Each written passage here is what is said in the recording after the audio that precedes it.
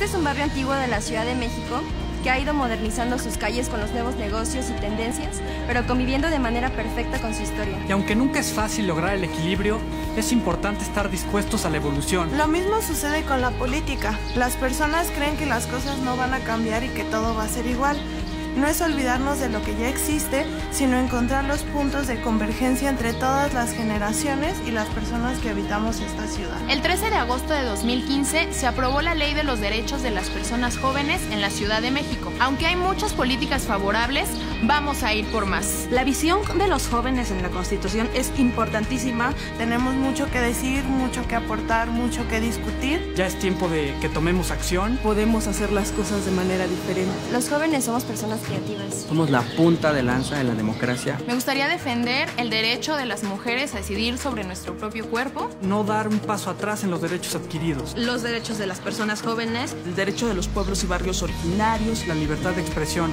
Los derechos individuales. Los derechos humanos. Medio ambiente.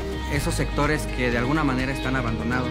Todas las mujeres tenemos derecho a una vida sin violencia el poder de los jóvenes chilangos es aportarle algo a la ciudad que nos da la oportunidad de estudiar, de trabajar, de divertirnos, de crecer, de vivir, de soñar. Ese es el poder chilango. Poder chilango.